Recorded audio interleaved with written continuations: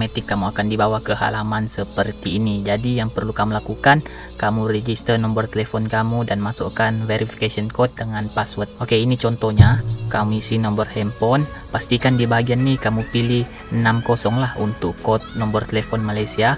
Dan di bagian verification code nih kamu klik di bagian coklat nih nanti kamu akan diberikan code seperti inilah 4 digit. Kamu akan dapatkan kamu copy 4 digit tersebut. Kamu paste lah di bagian verification code. Dan di bagian password pula kamu masukkan saja password yang ingin kamu masukkan. Contohnya abc 12345 pun boleh. Seperti itu. Setelah kamu isi ketiga maklumat yang aplikasi ini inginkan yaitu nomor phone, verification code dengan password kamu klik saja yang kotak warna kuning nih nanti otomatis kamu akan dibawa ke halaman seperti ini di sini kamu diminta untuk download aplikasi tersebutlah kamu klik saja nanti otomatis akan dibawa ke halaman bagian ini untuk download aplikasi tersebut Oke okay guys, download aplikasi ini terbuka untuk pengguna Android dan iOS. Untuk pengguna iOS, kamu klik saja di bagian ini. Nanti otomatis kamu akan dibawa ke App Store kamu lah. Lepas tu kamu download saja di bagian ini. Bagi pengguna Android pula dia berbeza dengan pengguna iPhone. Kalau iPhone dia akan terus ke App Store lah. Bagi pengguna Android pula jika kamu tekan untuk download aplikasi ini, nanti kamu akan dapat di bagian bawah ni kalau kamu lihat, adakah anda ingin memuat turun QuickFox APK? Jadi kamu klik saja muat turun lah seperti itu. Nanti kalau sudah habis barulah kamu install. Kalau sudah selesai install, barulah kamu login di dalam aplikasi tersebut. Masukkan nombor phone kamu dan password yang sudah kamu register yang saya tunjukkan tadi lah.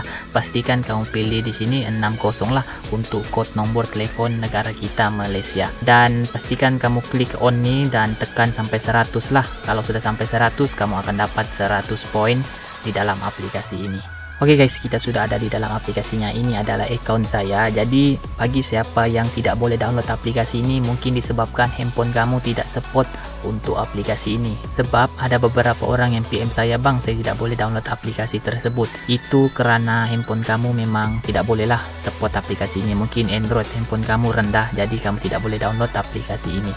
Oke, okay, kepada yang tanya bang, macam mana nak redeem di dalam aplikasi ini? Oke, okay, kalau nak redeem di dalam aplikasi ini, kamu klik di bagian bawah sekali nih, nih.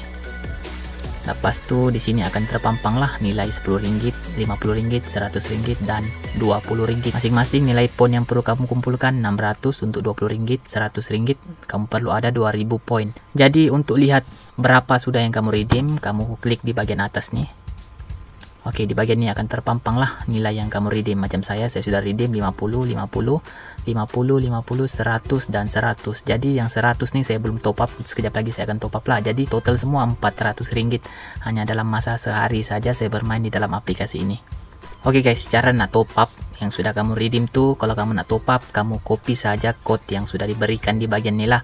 Kamu copy saja, klik saja di bagian ini Oke, kita sudah copy ini code-nya lah 26982738440. Lepas tu kita pergi saja di bagian Touch and Go e-wallet, kamu klik reload e-wallet dan kamu pergi di Touch and Go e-wallet reload pin seperti itu. Jadi bagi saya sekarang 349 ringgit. Kita try top up untuk yang 100 ringgit yang pertama.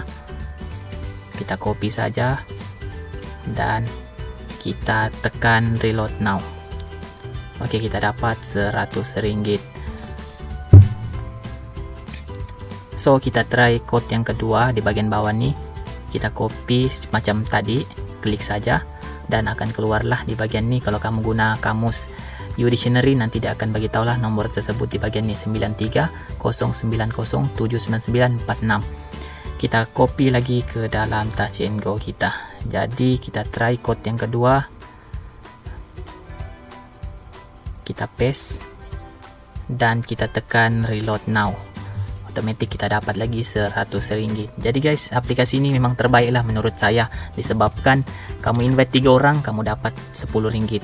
Kamu invite 20 orang kamu dapat 100 ringgit. Bayangkan berapa sedikit kita perlu invite untuk dapatkan 100 ringgit. Biasanya aplikasi lain untuk dapatkan 100 ringgit kamu perlu invite 2 hingga 300 orang lah untuk dapatkan sebanyak itu.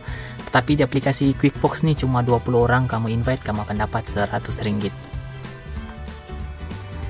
So sekarang bagi saya 549 ringgit lah yang saya sudah dapatkan daripada aplikasi QuickFox. Next, ramai yang tanya bagaimana nak redeem dan ada juga yang tanya bang, kenapa saya tidak boleh redeem sedangkan poin saya mencukupi. Oke, di sini saya akan jelaskan. Oke, kita lihat contoh yang RM 50 ringgit.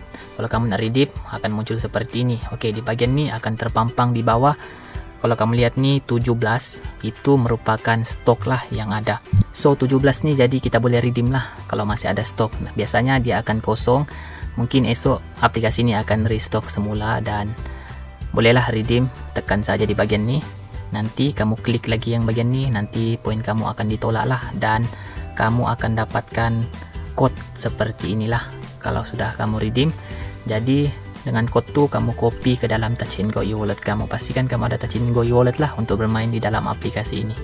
Oke okay guys, next soalan yang saya banyak dapat ialah Bang, macam mana dapatkan poin? Oke, kalau kamu lihat sekarang dalam screen saya ada 1900 poin lah, lagi 100 poin baru boleh saya redeem 100 ringgit. Dan ini pula jumlah orang yang saya sudah invite.